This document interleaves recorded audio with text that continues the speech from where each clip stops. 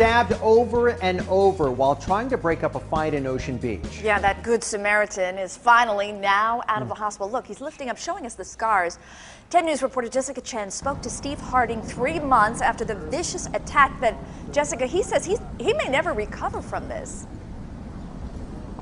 Yeah, that's right, and that's because he was stabbed six to eight times all over his body. Now, this attack happened in this area between Bacon and Long Branch, and Steve left a trail of blood here on the ground as he ran home for help. And he goes, I think that, that guy just stabbed me. I go, he did, bro.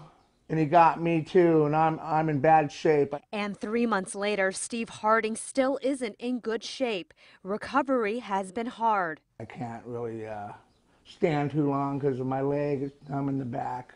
The 46 year old was stabbed all over his body. Can't make a fist with it when I. His hands, his leg, and his chest, all because he was trying to break up a fight near Bacon and Long Branch back in January. Just kept swinging that knife, you know, he was going out of control with it. Video from that night show a trail of blood as Harding tried to get home to his family. He could only think of one thing all I could think of was just get home. Just make it home just to tell the kids you love them.